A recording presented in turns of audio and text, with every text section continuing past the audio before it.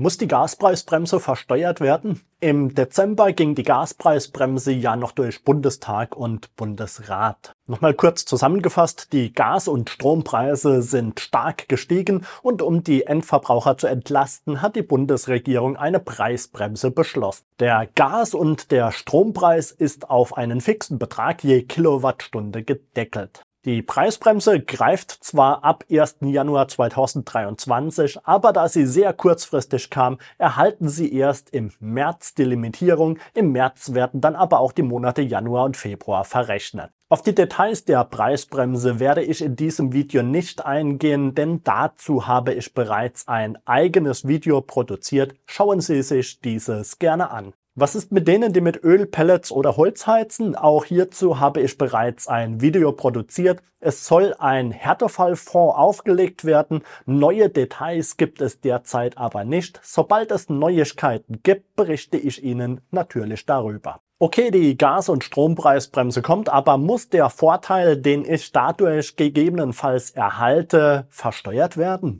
Bei den Energiepreispauschalen, diese 300 Euro, die es letztes Jahr gab, war bzw. ist das ja so. Die 300 Euro wurden entweder brutto ausgezahlt und müssen in der Steuererklärung angegeben werden, oder sie wurden vom Arbeitgeber ausgezahlt, der musste dann direkt Lohnsteuer einbehalten und an das Finanzamt abführen. Wie ist das nun aber bei der Gas- und Strompreisbremse? Kurz und knapp, Sie dachten doch nicht wirklich, dass der Staat es ihnen einfach macht. Auch die Gas- und Strompreisbremse erhält jeder, egal ob arm und bedürftig oder reich und nicht bedürftig. Die Regierung meint, es wird dann gerechter, wenn man einfach sagt, sie ist steuerpflichtig. Einen kleinen Trost kann ich Ihnen liefern, viele wird die Steuerpflicht nicht treffen. Die Regierung hat mal wieder ein Bürokratiemonster geschaffen. Wenn Sie nachlesen wollen, die Besteuerung der Gas- und Strompreisbremse finden Sie im Einkommensteuergesetz in den Paragraphen 123 fortfolgende.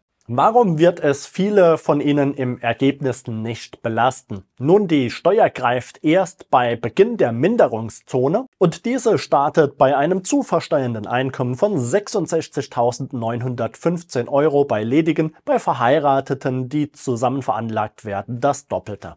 Und auch da beginnt die Minderungszone, bedeutet es wird nicht gleich die volle Entlastung durch die Gas- und Strompreisbremse versteuert. Vielmehr steigt der zu versteuernde Betrag stufenweise mit dem zu versteuernden Einkommen. Daher grundsätzlich steuerpflichtig, ja, aber erst ab einem zu versteuernden Einkommen von 66.915 Euro bei ledigen und dann auch nicht sofort voll. Und warum Bürokratiemonster? Nun recht einfach, machen wir das mal am Strompreis fest. Grob Deckelung auf 40 Cent pro Kilowattstunde für 80 Prozent Ihres Referenzverbrauchs. Nun hat jemand einen Anbieter, der verlangt ab Januar 37 Cent, der andere 43 Cent, ein ganz anderer 56 Cent. Wer meldet die Daten denn? Erhalten Sie von Ihrem Versorger dann eine Bescheinigung, wie viel Ersparnis Sie in 2023 hatten? Wird das vom Versorger ans Finanzamt gemeldet? Dann müssten Sie Ihrem Versorger ja mindestens Ihre Steuer-ID mitteilen. Was ist, wenn Sie Ihren Versorger unterjährig wechseln? Sie sehen, es gibt noch sehr viele ungeklärte Fragen. Langweilig wird es 2023 sicherlich nicht. Nehmen Sie aus diesem Video bitte mit, dass die Gas- und Strompreisbremse oder vielmehr die Entlastungen, die Sie dadurch erhalten, zwar steuerpflichtig ist, aber aufgrund der Einführung der Minderungszone bei Ledigen erst bei einem zu versteuernden Einkommen von 66.915 Euro und bei Verheirateten bei einem zu versteuernden Einkommen von 133.830 Euro relevant wird.